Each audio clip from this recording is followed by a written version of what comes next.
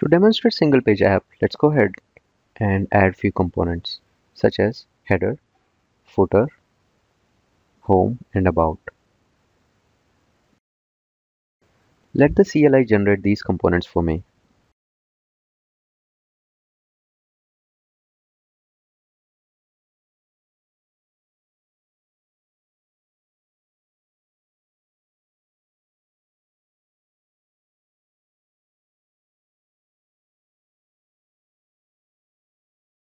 Head over to header component and clean up the template. I'll create a header tag and I'll paste some of the code to create a nav bar.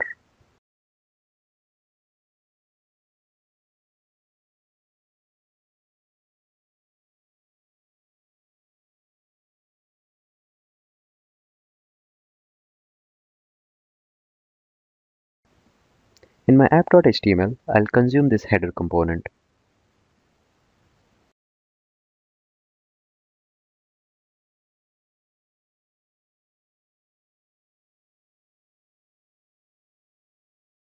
Here we go, we have our navbar. Let's go ahead and modify our footer component. Clean up and add some template. In our app.html, I'll consume this footer component.